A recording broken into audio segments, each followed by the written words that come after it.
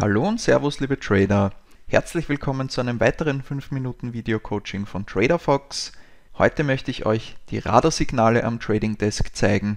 Zuletzt haben wir ja bereits über das Trade Radar gesprochen und heute erkläre ich euch, welche weiteren Tools es gibt, um die damit gewonnenen Informationen optimal einzusetzen.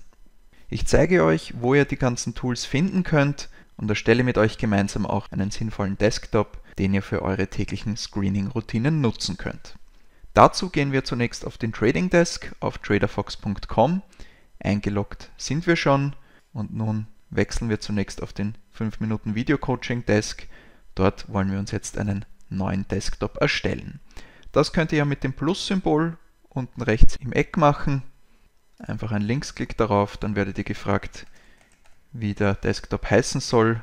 Wir nennen ihn jetzt einfach Radar und um herauszufinden, welche Signale gerade gut am Markt funktionieren, öffnen wir zunächst noch einmal das Trade Radar. Oben bei der Spalte Radar findet ihr die ganzen Tools. Nun können wir die Box mit der Drag-and-Drop-Funktion verschieben. Wir können sie auch von der Größe her etwas anpassen. Und ja, nehmen wir gleich alle deutschen Aktien mit einem Handelsvolumen von größer als einer Million innerhalb der letzten fünf Handelstage.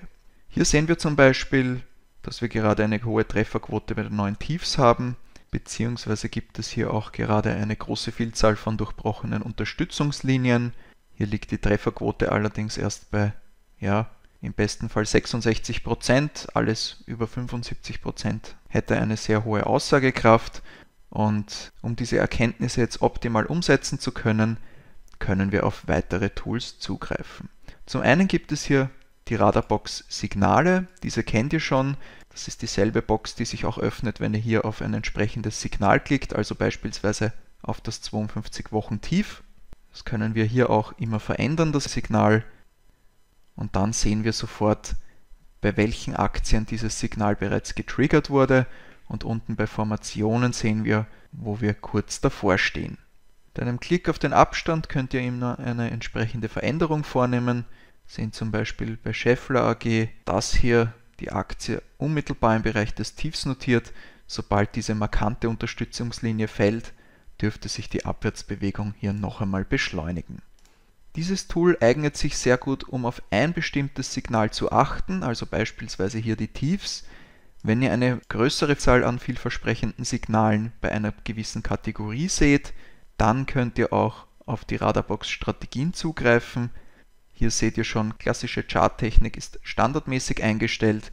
Dasselbe findet ihr hier auch beim Trade Radar.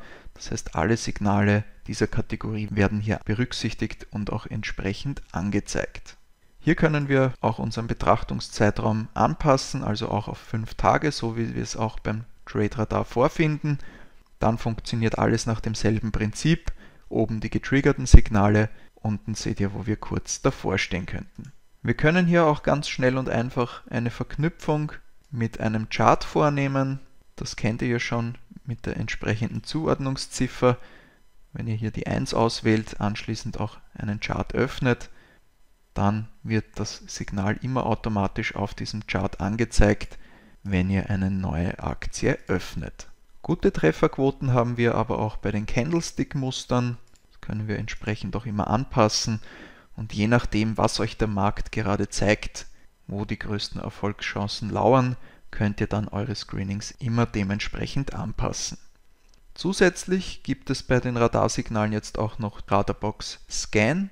Hier könnt ihr speziell auch auf 5-Minuten-Charts achten, aber auch Tagescharts stehen euch hier zur Verfügung. Und ja, bleiben wir hier beispielsweise gleich bei den Bollinger Bändern. Wenn der Markt jetzt zu einer Übertreibung in irgendeine Richtung neigt, also nach oben oder nach unten. Hierbei über dem Bollinger Band wäre es eine euphorische Marktphase, das heißt viele Titel sind bereits stark überkauft und wir gehen davon aus, dass es bald zu einer Korrekturbewegung kommen könnte. Dann macht es absolut Sinn, hier auf Aktien zu achten, die sehr stark überhalb ihrer Bollinger Bänder notieren, können hier eine entsprechende Anordnung vornehmen. Derzeit ist das hier bei sehr wenigen Signalen der Fall. Wenn wir die Auswahl auf den Tageschart umstellen, dann sehen wir, dass wir bei Bechtler eine Aktie haben, die schon demnächst für einen kurzfristigen Short Trade in Frage kommen könnte.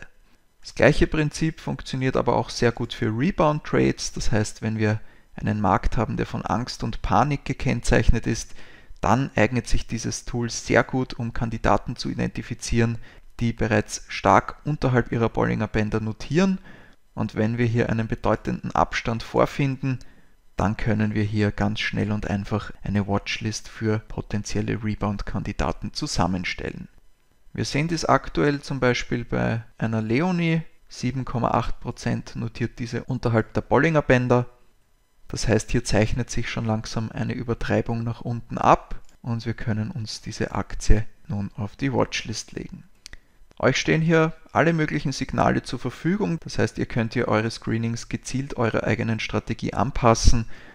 Zu guter Letzt gibt es hier noch Radarbox Einzelwert, das heißt, wenn ihr beispielsweise eine Aktie ganz bestimmt auf dem Schirm habt oder besonders gerne tradet, dann seht ihr hier immer ganz schnell, welche Signale zuletzt getriggert wurden, welche uns bereits in Kürze geliefert werden können.